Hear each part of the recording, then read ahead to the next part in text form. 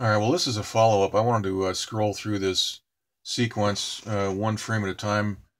Uh, this area right here, this is a thunderstorm system that's being uh, superheated with microwave and blown apart. I'm just going to, uh, right here is where we're looking, one frame at a time. You see the blast pattern develop.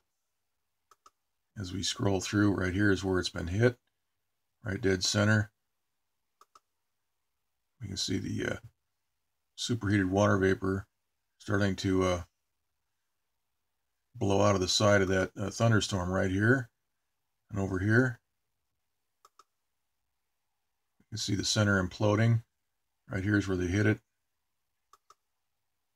And over here, we have the uh, day to night transition coming up right over here.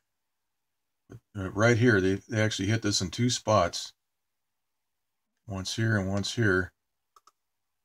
And we have the uh, the night transition.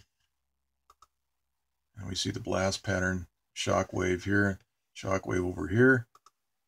And what we're seeing here is very similar to what was captured down in Costa Rica last, I think it was uh, July of 2015, July or August of 2015. Let's take a quick look at uh, what this uh, girl found. She took a, some pictures. Uh, she was using a cell phone camera, which doesn't have very good uh, low light capability. This was done in the late afternoon. And of course, this was very bright because the sun was, was uh, sort of behind these clouds. This, these were thunderheads developing. And what we're seeing here is a superheating process. We have a, a blast wave, a blast ring right here that is starting to shoot out the side of this giant thunderhead, which is being superheated. Now the sun is creating this bright light. It's behind. It's uh, late in the afternoon.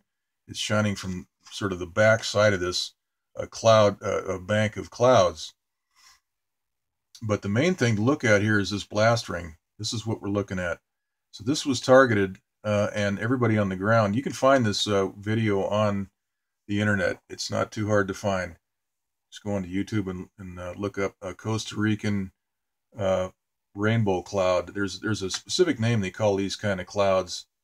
Uh, this has been superheated. Uh, the people that uh, categorize these clouds on the internet uh, don't call them, uh, you know, superheated clouds. There's some other name, but the point is here that we're looking at some rainbow colors. We're wondering, people wonder, well, what what, what is the rainbow color? Well, that's the microscopic water vapor shooting out and diffracting because of the the sun is uh, shining through this water vapor, and that creates a rainbow. Now, there were some people, uh, some scientists, that tried to explain what was going on here, and they didn't. They didn't tell us the truth. The truth of the matter is, is that this is a, a very good, very good evidence of what happens uh, when when the thunderhead is superheated. So this is exactly what's happening right uh, south of Arizona and New Mexico. They've uh, superheated this thunderstorm, which would uh, cause a lot of rain and wild weather. And uh, so that's what it looked like. And, and, we see this happening over Southern California today. Uh, they do this typically over the mountains where there's not a lot of people watching.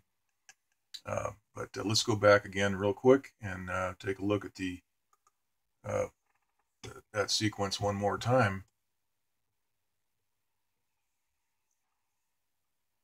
Can see what happens. Right here, big giant thunderstorm system.